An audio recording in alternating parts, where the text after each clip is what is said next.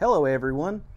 I'm in a different location. It's uh, something different today that we're going to to try to do. We're going to start a journey today toward the empty tomb. We're going to start a journey toward the cross of Calvary and toward the empty tomb, going day by day through all the things that our Lord and Savior Jesus Christ went through in the last week of his physical life here upon this earth before his resurrection. And since today is Palm Sunday, the day that we celebrate the triumphal entry of Jesus into Jerusalem, I thought we would look at that text. It's in Mark chapter 11, and we'll read verses 1 through 11. And there the scriptures say this As they approached Jerusalem and came to Bethphage and Bethany at the Mount of Olives, Jesus sent two of his disciples, saying to them, Go to the village ahead of you, and just as you enter it, you'll find a colt tied there which no one has ever ridden. Untie it and bring it here. If anyone asks you what you're doing, say this The Lord needs it and will send it back here shortly. They went and found a colt outside in the street, tied at the doorway. As they untied it, some people standing there asked, What are you doing untying that colt? They answered uh, as Jesus had told them to, and the people let them go.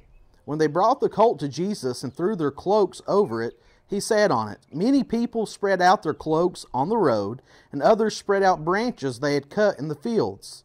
Those who went ahead and those who followed shouted, Hosanna! Blessed is he who comes in the name of the Lord.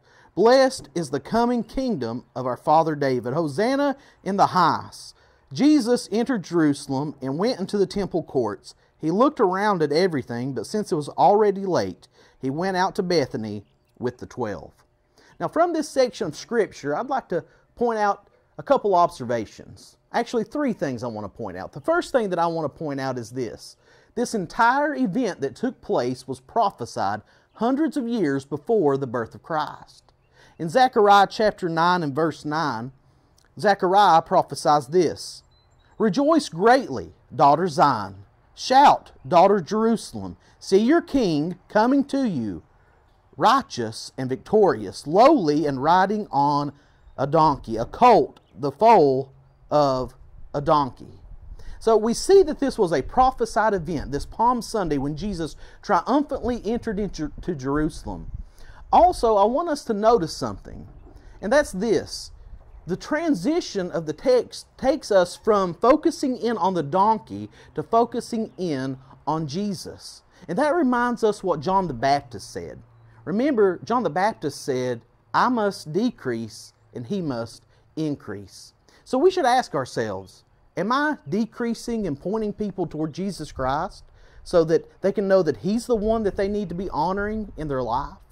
Also notice that in our text, that the people shouted, Hosanna! Blessed is he who comes in the name of the Lord. Blessed is the coming kingdom of our father David. Hosanna in the highest. This was like saying, Hallelujah, the king has come. And of course, the people who were saying this were probably thinking, well, Jesus is here. He's going to establish an earthly kingdom and overthrow the Roman Empire. But that's not why Jesus came at all. Jesus came, came to seek and save the lost. He came to establish his kingdom, the church, here upon this earth. But notice that they were honoring Jesus by saying this. Ask yourself, what have I done today? And what do I do throughout the week that honors Jesus? Does it reflect good on Jesus Christ what I do? Am I pointing people to Him? Am I doing like the colt and carrying people to Jesus Christ? Well, that's the end of our time that we have today. I hope everyone has a wonderful rest of the week. I hope you tune in each day on our journey to the empty tomb, and God bless.